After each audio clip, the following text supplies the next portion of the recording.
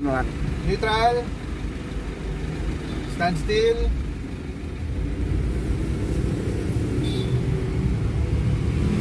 Second gear. okay. Ayan. Third. Third gear.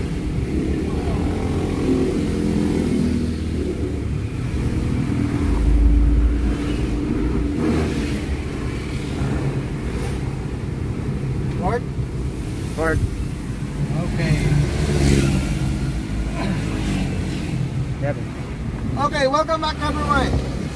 BMW X5. Ito yung tinetest ride natin ngayon. So far, natapos natin yung rebuild ng transmission na to. Ang history niya is nagkaroon siya ng water contamination. Ibig sabihin, yung kanyang oil cooler na butas, pumasok sa transmission, hindi na asikaso ng matagal, yun ang nag-cause kung bakit kinalawang lahat ng laman loob.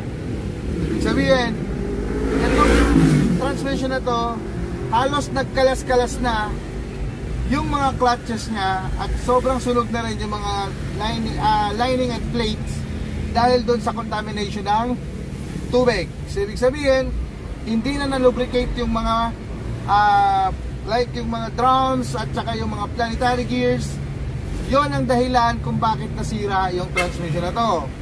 So far, nakita nyo naman, test drive tayo, pasok na lahat ng gear niya, maganda rin yung downshift niya, okay na to, so good for delivery na to. So far, ah, nandito tayo sa area ng owner, um, okay na, approve na to, so papasa na lang natin to.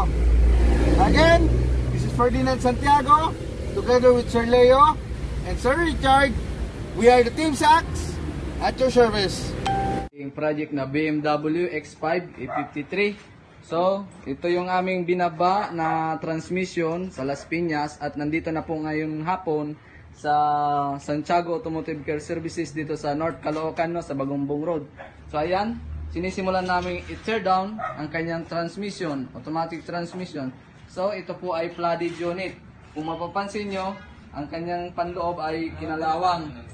At na yan, nakita nyo yan, ang balbadi niya nandito na, baklas na. Puno din siya ng mga putik-putik. So ang oil niya, nagkaroon na siya ng tubig. Kaya ayan na pong itsura niya. So tutok lang kayo mga boss madam. Yan. Good morning po. Magandang umaga ulit sa lahat. Update po tayo. BMW X5. Okay, sa ngayon, halos matatapos na yung tear down natin. So ito pong tran nito is ZF naman. ZF 5 HP 24. Alright, ito kung mapapansin nyo, ang problema, yung ATF nahaluan na ng tubig. So, ibig sabihin, maaring flooded unit po ito. Alright? Tapos, ito yung halos na sinakita natin sira sa kanya. Ubus na po yung lining niya. Yan. So, ito ngayon, kailangan itong rekomendasyon natin is rebuilding kit, ah, filter, tsaka flushing tayo ng lahat, pati torque converter, kasi may tubig yun malamang. Tapos, palit tayo ng filter at ATF, then rebuilding kit. So, update po kami ulit sa inyo. Maraming salamat po.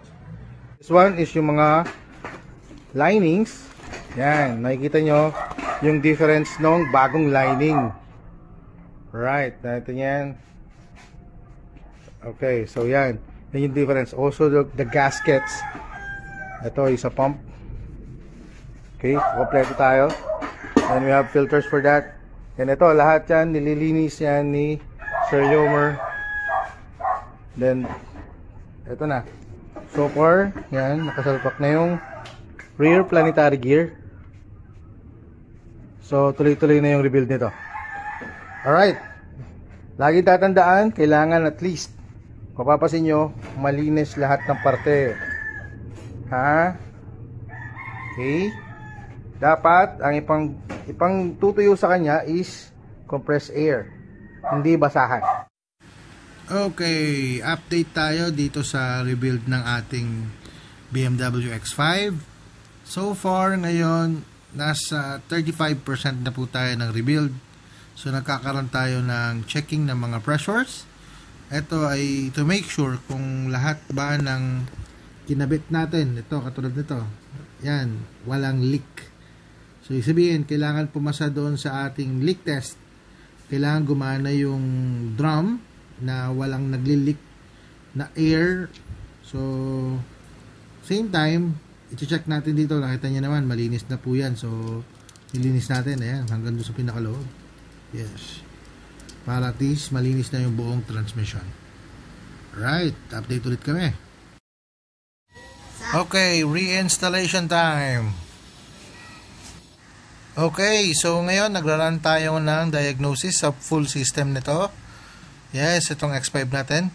Shoutout nga pala kay Sir JV Technician para sa pagtulong sa amin sa pag-fix naman ng problema ng X5 sa T Terminal 30. Opo, siya rin po nag-recommend sa atin dito.